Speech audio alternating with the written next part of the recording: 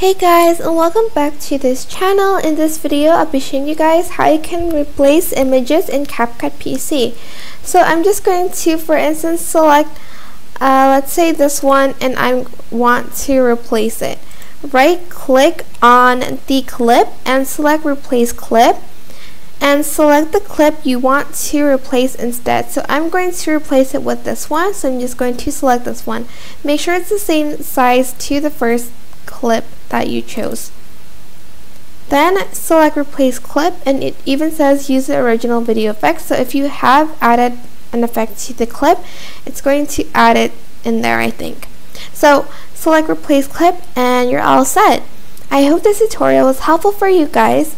Don't forget to like, comment, share, and also subscribe to this channel if you haven't done that already.